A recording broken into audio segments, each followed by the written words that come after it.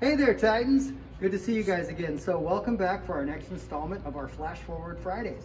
So last week we had an opportunity to walk around and take a, take a look in our LMC and see how we've set up for when we eventually return to campus. Now remember guys, it's not going to happen immediately, but we're hoping it's going to happen soon. So I just want you to see all the preparations we're taking. So we're gonna walk into Mrs. Atkins' class. So if you're in eighth grade English, you have a good chance of having Mrs. Atkins as a teacher. Let's take a look at what's been going on inside.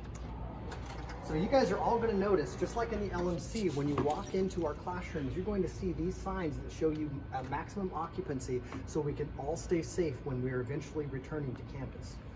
So come on in guys, I'm gonna show you some other, some other quick features.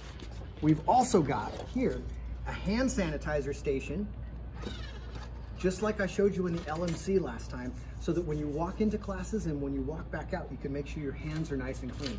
Remember, I'm only taking this mask off right now because I'm alone in setting this video. But when you guys do return, we're gonna be wearing masks on campus at all times.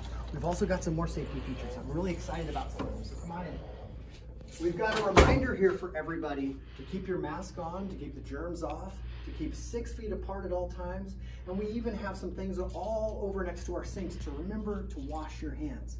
We've also got these signs posted all over campus to keep that six foot distance because we want to make sure everybody's safe and healthy on campus. Speaking of which, if your classrooms have a sink, you're going to have soap and water there. But if they don't, you're going to have hand sanitizer by the door, on a couple of teachers' desks. It's always here for you because we really want you to be safe. And speaking of more safety precautions, just like we had in the LMC, we're going to have these fiber or these uh, plexiglass barriers up when you approach your teachers. But take a look here, guys. We've also ordered these for everyone on campus. So as you take a look around the room, you'll see that you've got your own individual barriers to make sure that everyone's safe.